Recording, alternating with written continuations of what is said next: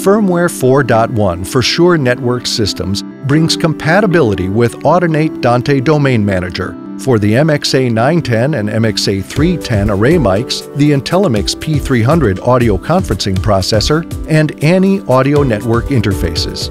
Dante Domain Manager provides role-based security parameters for managing enterprise-wide Dante networked audio deployments.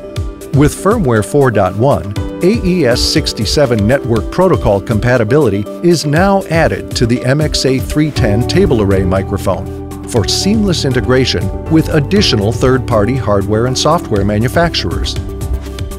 Harness the full power of designer system configuration software when connecting Microflex Advance array mics to the 4.1 enabled IntelliMix P300 or ANI USB matrix. From one intuitive interface, it's never been easier to quickly configure a system, with the flexibility to create settings on the go and deploy them when you're on the job site. With the new 4.1 firmware, Shure supports leading third-party codecs, including Zoom, Microsoft Teams, and Cisco. To provide plug-and-play USB mute-sync compatibility with the IntelliMix P300 and the ANI USB matrix.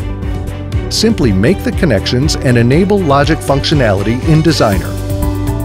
You'll always know who's hearing what on the far end for confidence in your AV conference. Visit Shure.com to update your firmware today.